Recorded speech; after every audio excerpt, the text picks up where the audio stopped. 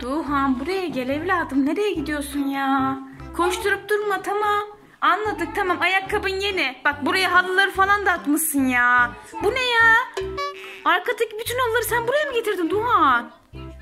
Temiz halıların hepsini buraya getirmişsin. Bunların hepsini tek tek toplayacaksın sen tamam mı? Çıkar o ayakkabıları da. Çıkar. Çıkar evde ayakkabı giyilmez. Tamam anladık yeni almışsın da yani.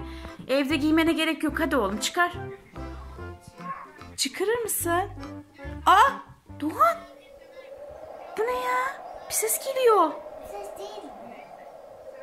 Duyuyor musun? Şimdi duydun mu? Cadı teyze.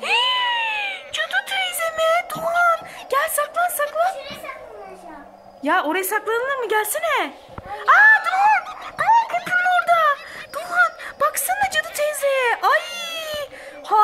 Planlar içerisinde. Baksana neler düşünüyor bu. Ay Duhan bakışlara bak.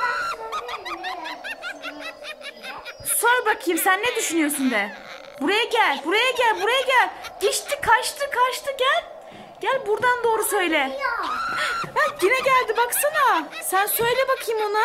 Git şuraya kadar gel. Ya saklan o zaman saklan. Saklan. Ben de saklanacağım. Bu da benim. Ha? Burada bak.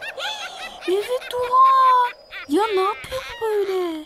Ses çıkartma. Ya Duhan baksana. Hala orada baksana. Ya Duhan.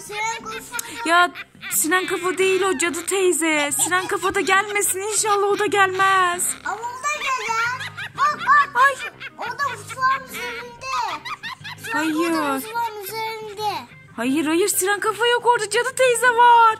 Duhan. Dua etmekten başka çaremiz kalmadı. Hadi dua edelim. Allah'ım inşallah cadı teyze gider. Evet cadı teyze gider. İnşallah. Amin. E, amin.